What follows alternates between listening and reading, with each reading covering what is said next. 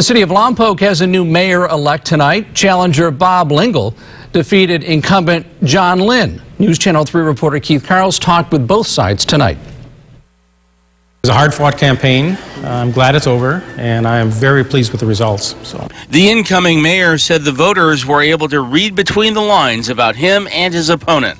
They saw the management style that John was projecting, um, which um, he's a small businessman, and he feels like he must do everything himself. We have a team. We have a fantastic team with our city. We've got city administrators, we've got economic development directors, uh, public safety officials, um, and John was not allowing the team to do their job, and it was really hindering. Well, you know, I would have to disagree with that.